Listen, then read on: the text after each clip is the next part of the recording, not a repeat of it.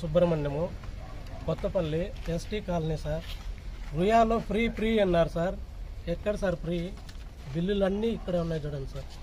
సిమ్స్లో free అన్నారు. ఎక్కడ sir free? అన్నీ ఇక్కడే ఉన్నాయి బిల్లులు.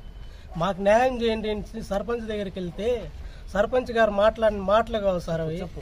సార్ వాడికి లేచింది వాడు ఆడిచ్చినాడు అని మాట్లాడతాడు.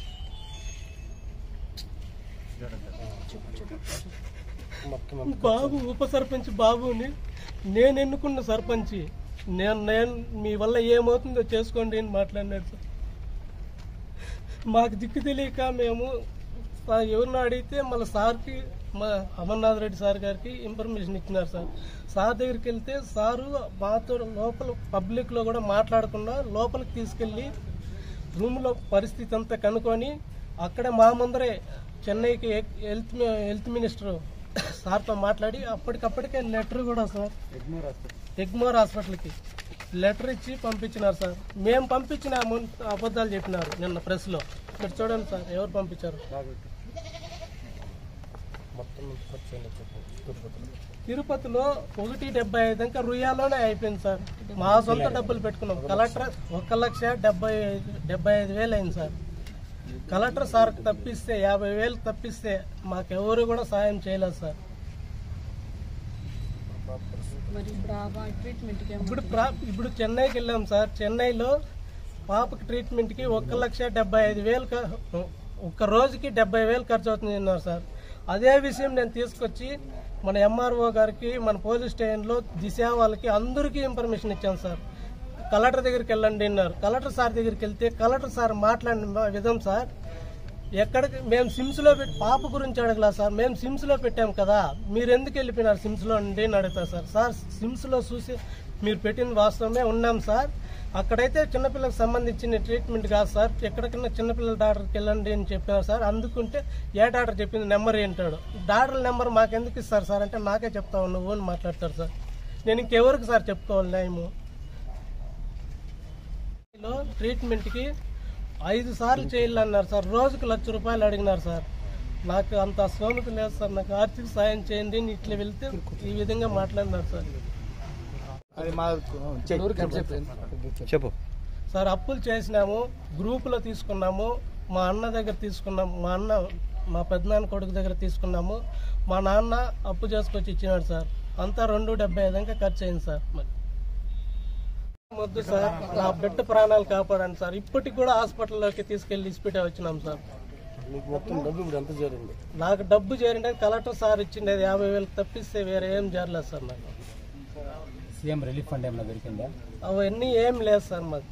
కలెక్టర్ సారు అది దిశ వాళ్ళు తీసుకెళ్ళి కలెక్టర్ సార్ సొంత డబ్బులు ఆయన సహాయం మీకు సహాయం కోసం ఇస్తున్నాడు అని చెప్పి దిశ వాళ్ళు ఇన్స్పెక్టర్ మేడం తీసుకెళ్ళింది సార్. నా పేరు నాగరాజు. పలంనే నియోజకవర్గ దళిత సంఘాల్లో మేము పనిచేస్తుంటాం తెలుగుదేశం పక్షాన. నిన్నటి రోజు సోషల్ మీడియాలో మేము ఒక న్యూస్ చూడటం జరిగింది. అలాగే ఈరోజు పేపర్లో కూడా ఒక న్యూస్ చూడటం జరిగింది. అది ఏమనేది విషయం ఇదివరకు వక్తలు మాట్లాడారు.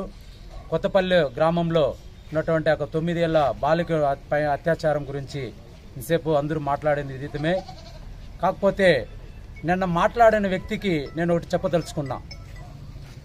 అయ్యా నువ్వు సర్పంచ్. నువ్వు సర్పంచ్గా మీ గ్రామ పంచాయతీలో ఏమి అన్యాయం జరిగింది? దానికి ఏమి నువ్వు న్యాయం చేసినావు? అది ఒక్క మాటలో నువ్వు చెప్పలా. కేవలము రాజకీయాల గురించి మాట్లాడినాను. నువ్వు నేను అంటున్నా ఎస్సీ ఎస్టీల పైన మీ ప్రతాపము?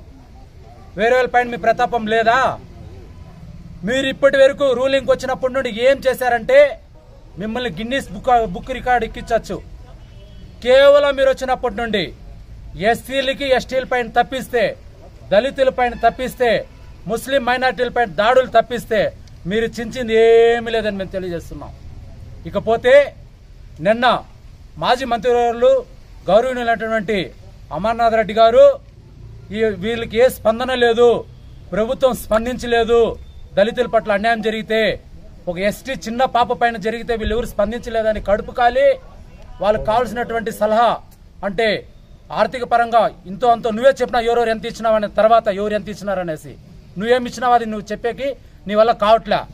ఇది ఇట్లుంటే కేవలం రాజకీయంగా చేస్తా ఉన్నారు అంటున్నారు. ప్రతిపక్షంలో ఉండేవాళ్ళు ఏం చేస్తారండి? ఇసుక అయితే మేము తోలలేము భూ కబ్జాలు మేము చేయలేము కట్ట పంచాయతీలు మేము చేయలేము. గంగావరం మండలంలోనే కాదు నియోజకవర్గంలోనే గంగావరం మండలము పంచభూతాలు పట్టుకున్నాయి. అది మండలంలో ఉన్న ప్రతి ఒక్కరికి తెలుసు. సమాధులకు కానీ దళితుల భూములకు కానీ బీసీలకు కానీ ఎవరికి రక్షణ లేదు ఈరోజు మీ ప్రభుత్వంలో. ప్రతిపక్షాలు ఏం చేయాలా? ఎవరికి అన్యాయం జరిగితే దాన్ని అడగటానికే ప్రతిపక్షం ఉండేది. మీరు చేసే దౌర్జన్యాలు ఎత్తి చూపటానికే.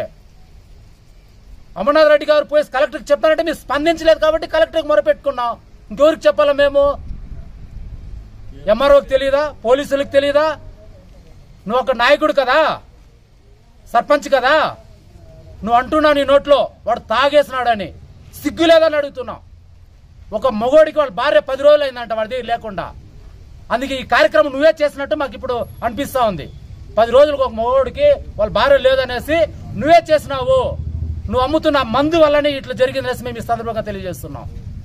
ప్రమీల దళిత మహిళా సంఘం మాది పలంనీరు అయితే ఈరోజు ఈ కార్యక్రమానికి మేము రావడానికి కారణం ఏమంటే రెండు నెలలకు ముందు కొత్తపల్లి గ్రామంలో ఒక తొమ్మిది సంవత్సరాల మై- మైనర్ బాలిక ఎస్ ఎస్టీ కులము ఆ అమ్మాయికి అత్యాచారం జరిగి హాస్పిటల్ రుయా హాస్పిటల్లో స్విమ్స్ హాస్పిటల్లో చూపించడం అనేది జరుగుతూ ఉన్నింది.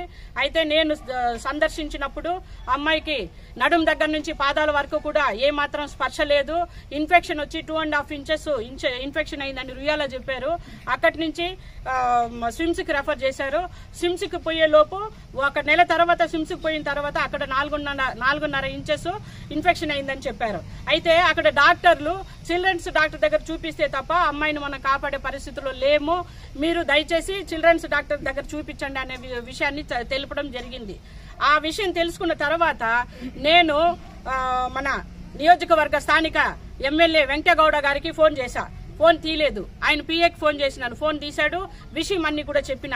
తర్వాత స్థానికంగా ఉన్న సర్పంచ్ గారికి ఫోన్ చేశాను. సర్పంచ్ గారికి విషయాలన్నీ కూడా వివరించిన తర్వాత అతను మాట్లాడిన తీరు ఏ విధంగా ఉందంటే నా వల్ల అయింది నేను చేసిన నీ వల్ల అయింది నువ్వు చేసుకో అనే లెక్కలో మాట్లాడుతూ ఒక మహిళతో మాట్లాడే మాట కాదు అంత వల్గర్గా మాట్లాడినాడు వీడియో ఉంది రికార్డ్ చేసిన ఆడియో రికార్డ్ ఉంది మీ అందరికీ కూడా నేను వినిపిస్తాను.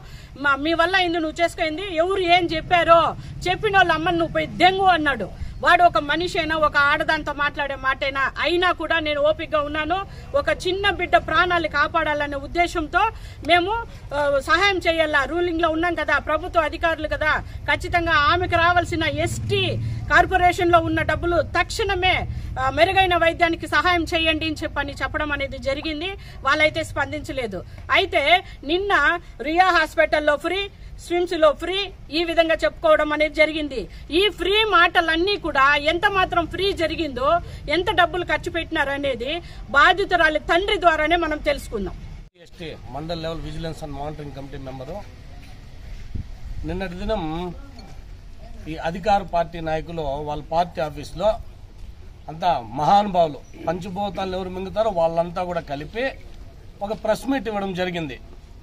కొత్తపల్లి ఇష్యూ గురించి కొత్తపల్లి ఇష్యూ జరిగి ఎన్ని రోజులైతోంది? ఎందుకు డిలేగా కేసు మీరు కట్టించలేదు? ఎందుకు కేసు కట్టిన దాంట్లో నిర్లక్ష్యం చూపించినారు? ఒక ఎస్టీల గురించి నిన్న చెప్పినారు మాజీ మంత్రి గారు ఎస్టీలను రోడ్డును పెట్టినారు వాళ్ళ ఇంట్లో అయితే ఆ విధంగా చేస్తారా అని చెప్పినారు. సరే ఆయన జైహింద్ తప్పనుకో. మరి మీరేం చేసినారు?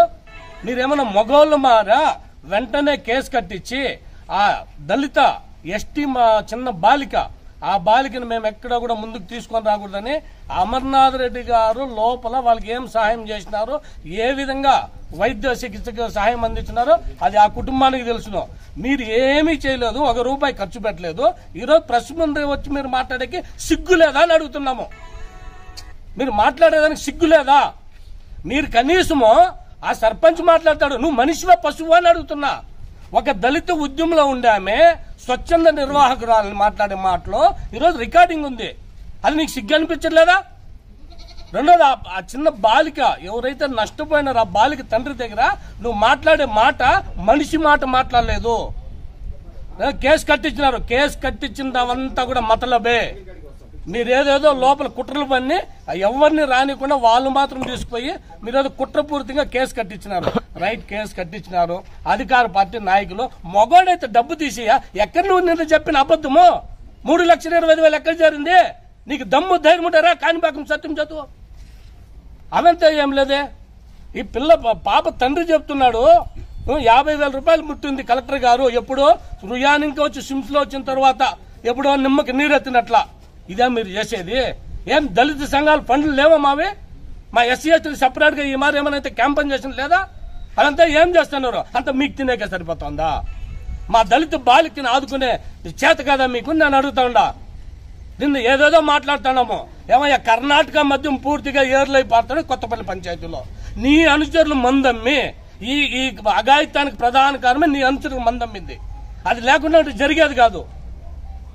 ఎమ్మెల్యే గారు మీరు ప్రతిసారి స్పందిస్తారు ఎక్కడ స్పందిస్తారు ఏమి ఇచ్చినారు అమర్నాథ్ రెడ్డి గారు పోతామంటే ఈ లెటర్ అంతా తీసుకున్న తర్వాత తమిళనాడు హెల్త్ మినిస్టర్తో మాట్లాడిన తర్వాత వీళ్ళు పోయి రెడీ అవుతుంటే వాళ్ళు బలవంతంగా ఎత్తుకొని పోయి మీరు కుక్కి వ్యాన్లు వేసుకుని రుయాలో జరిపించేస్తారు ఆ తర్వాత ఏమన్నా పట్టించుకున్నారా?